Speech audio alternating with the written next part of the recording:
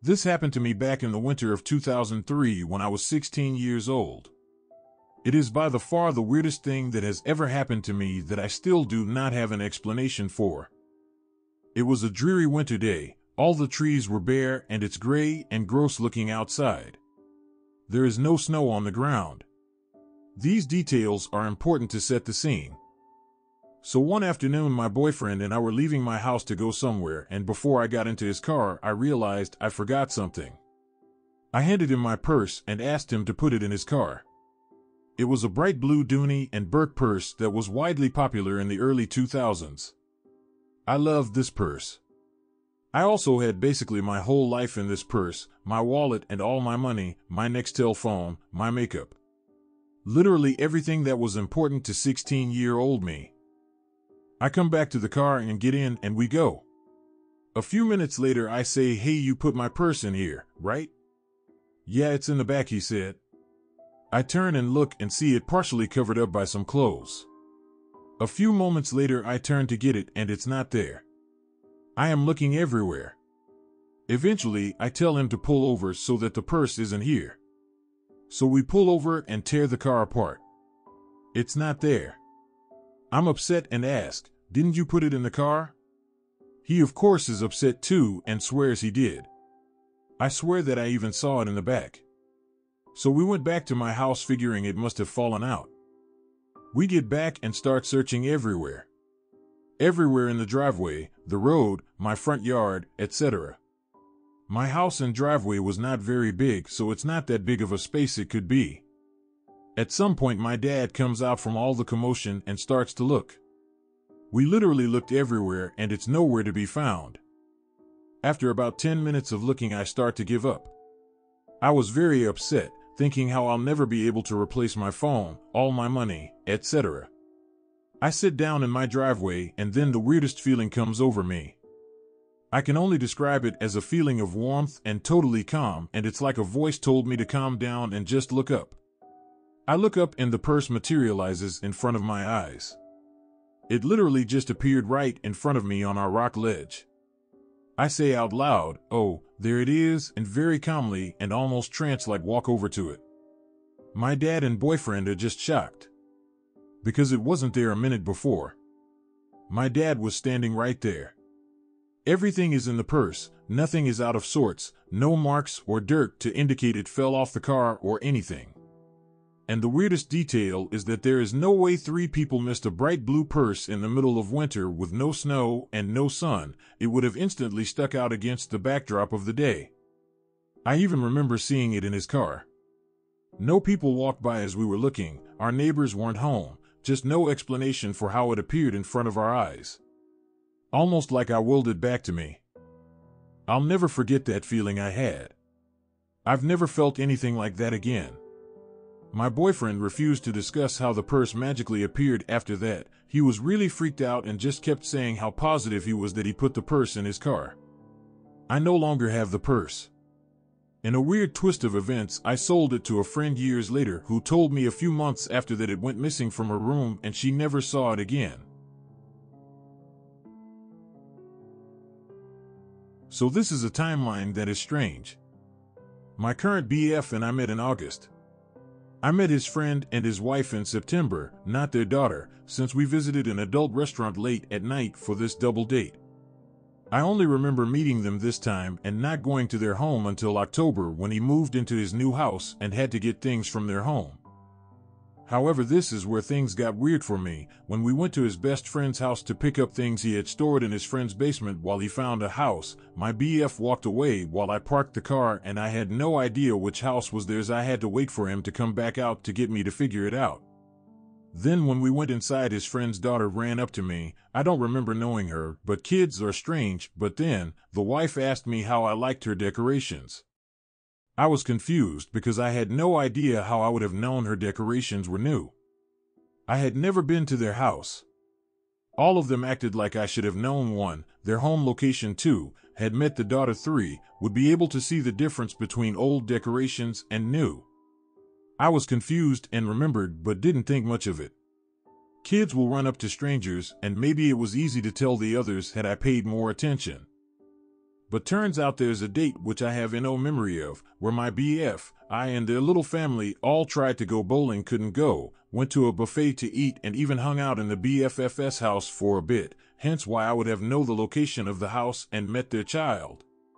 Now, while I have a great memory, I played with the possibility I simply forgot. However, my BF and them have no proof this happened. Had we gone to the buffet, my BF would have paid. He never uses cash, and there is no charge on his only two cards for the date. Also, I have pictures of almost every day this could have possibly take place and nothing.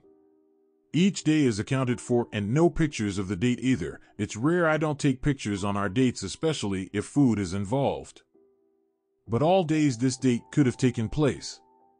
I have either a selfie or other pictures proving I wasn't anywhere near him or the tracking on Google Maps also backs up that this date never happened. Seems like all four of them for some reason come from a timeline where this date took place. I wonder why they all jumped and I'm kinda anxious now I never forget things like this, but to have no proof of the date really solidifies that I am not just forgetting. In this timeline, it didn't happen. This one is going to take a little explaining, and I apologize in advance, as in order to explain the gravitas of this, I need to delve a little into the kind of person I am. I am a collector of manga, anime, figures, and video games, and have been since 2013 when I was a minor scraping money together through odd jobs. My collection has been posted a couple of times on the appropriate subs, and finding them shouldn't be too difficult, but the value of it, like most hobbies, can probably only be parsed by others with the same interests.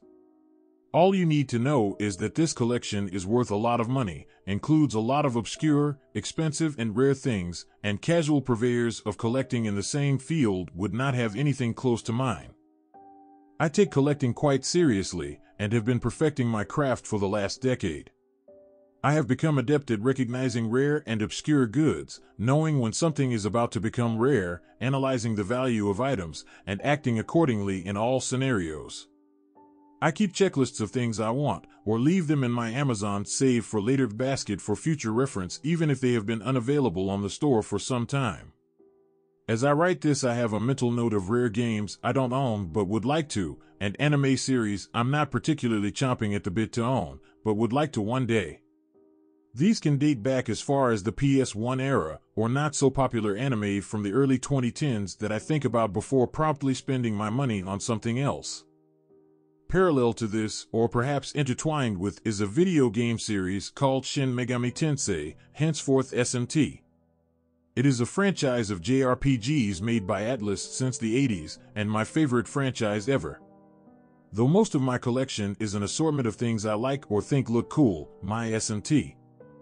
The collection has a dedicated glass cabinet, and I have gone to great lengths to own limited editions, figures, random stuff to make it look pretty. The only reason I forked out money on a 3DS was so I could own SMT re-releases like Strange Journey, Devil Survivor 1 Plus 2, and Devil Summoner, Soul Hackers. Imagine my shock, then, that in a Discord call with some friends last night, I came to find that I didn't own the latter. Last night, me and two friends got together on a call and spoke about random crap for about five hours. We rambled as you do until one of them said that she struggles to import 3DS games in the country she lives in and wants to buy two games called Persona Q and Persona Q2. Me, being the asshole that I am, wanted to jokingly flex my copies, and so I pulled out my 3DS collection from under my bed to find them. I spread out my entire collection and noticed Soul Hackers wasn't there. I thought it was odd, but initially just looked under my bed again to see if it had slid out when the drawers got pulled and pushed. It wasn't there. I used to put my 3DS games on the top shelf, which may have left a game prone to falling down the back. My shelving units are bolted onto the wall and have a backboard, so if something fell in the years I had them up, I may have either forgotten about them or decided I can't do anything about it and would just retrieve it at a later date. Still, I took a flashlight and phone to the crevices between the back of the unit and the wall and tried to scope out anything back there. I couldn't see anything. At this point, I had begun to interact with my friends again, who suggested I have gaslit myself into thinking I bought a game when I didn't. As I mentioned, though, I'm very thorough with my collection, and if I didn't own it, it would be saved somewhere on one of my checklists or left to rot in my Amazon basket. It doesn't show up anywhere. Becoming rather frazzled, I began to check my purchase history on eBay, Amazon, and StockX. It turns out that I bought all of my SMT games on 3DS in 2017, six years ago, which was a time when I had a lot of money and was less than sensible with it. Soul Hackers did not appear anywhere. I had never bought it. I never owned it. I even went and scrolled through a Twitter account I don't use anymore to locate videos of me showing off my collection and videos dating as far back as 2020 do not show me ever owning Soul Hackers. Again, though, I feel I need to re-emphasize how uncharacteristic this is of me in order to shirk that this is just a faulty memory issue, and words posted through a Reddit post will never adequately reflect the degree of certainty I am trying to communicate to strangers about how I approach my hobby. I keep checklists. I even have a dedicated Discord server for me, myself, and I where I post links into channels as a kind of organized memo. My Amazon basket is filled with things from as early as 2015 that I wanted to buy, but just never got around to it, and the sadly not uncommon scenario of me purchasing the game online and having to either send it back or it not arriving isn't reflected in my history at all. On top of this, my 3DS collection has been in my immediate sight for five of the last six years. I was always looking at it, and I scrolled through them multiple times to sell games in order to have funds available. These were never SMT games, but instead rare Kirby games, as I couldn't get into the series. When I do my price checking of things I own to see their value, I remember punching in Soul Hackers and seeing it be worth 90 to 120 pounds, yet I didn't feel the urge to gather funds to grab it quickly because I knew I already owned it. When Soul Hackers 2 came out last year, I never thought that I still needed to buy the first game because I knew I already owned it. By my own internal criteria, a situation like this occurring is not only unlikely, but impossible. I cannot look at aspects of my collection without thinking, oh, this is incomplete, or I still need to get this, or that reminds me to look at getting X, too. Every time I look at my 3DS collection, I am reminded that my Professor Layton series is missing a game, and the same goes for my Etrian Odyssey collection, but there has never been a point in time where I looked at my SMT collection and saw any discrepancy. I am not amazed or curious. I am uncomfortable. Last night, I genuinely felt like I had gone insane.